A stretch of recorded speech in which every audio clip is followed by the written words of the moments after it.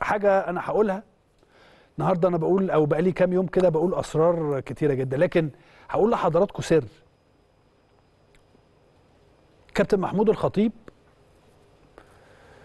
آه، في بعد وفاة الوزير العمري كنا يوم الجمعة. وكنا رحنا المستشفى وخدنا ال- ال- المرحوم ووديناه على ال- المقبرة.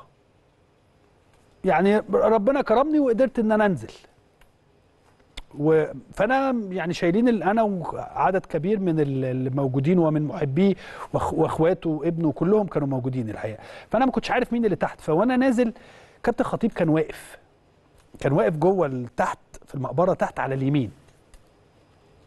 فالكابتن خطيب أنا يعني مش عارف مش واخد بالي. يعني أنا نازل واخد ال... وببص كده لقيت الكابتن واقف على اليمين. بصيت للكابتن كده فالكابتن كان لابس النضارة وواقف ويبدو مش يبدو هو كان أنا مش عارف أقولها إزاي الحقيقة وهل من حقي إن أنا أقول كلمة زي دي على الكابتن ولا لأ؟ ولكن الكابتن كان متأثر بطريقة من من المرات القليلة جدا جدا جدا جدا في تاريخ حياتي. أشوف الكابتن محمود الخطيب متأثر بهذا الشكل. متأثر على شخص كان له دور كبير جدا جدا في النادي الأهلي. وشخص كان له ثقل كبير جدا جدا داخل النادي الأهلي.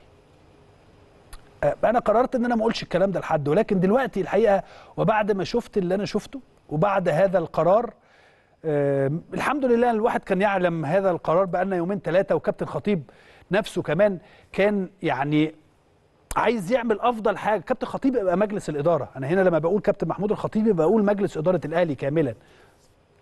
عايزين يعملوا حاجة يخلدوا بي يخلدوا بيها ذكرى هذا الرجل المحترم.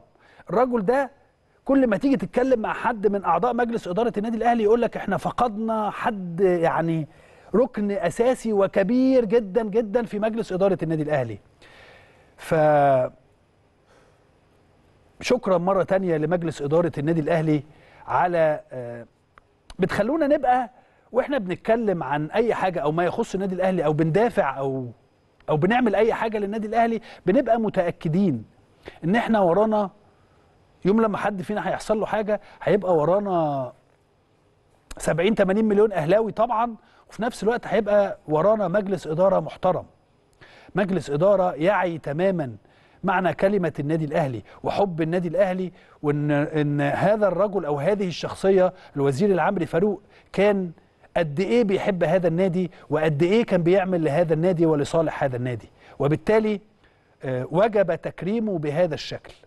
فمرة تانية وثالثه ورابعة أنا بشكر مجلس إدارة النادي الأهلي لأن دي كمان لافته للأجيال القادمة. إزاي نحافظ على الأسماء اللي بتتعب عشان خاطر النادي الأهلي وبتموت علشان خاطر النادي الأهلي. فدي لفتة جم- جميلة جدا جدا من مجلس إدارة النادي الأهلي لكل الأجيال. خدوا بالكم إن النادي الأهلي مهما حتى لو أنت في جوه التراب مش هيسيبك. مش هيسيبك بتخليد ذكراك.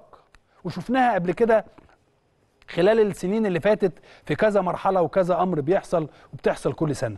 ف يعني الحقيقة الواحد سعيد جدا جدا إن هو بينتمي لهذا النادي الكبير والعريق ذو ذو الأصول الكبيرة والمحترمة.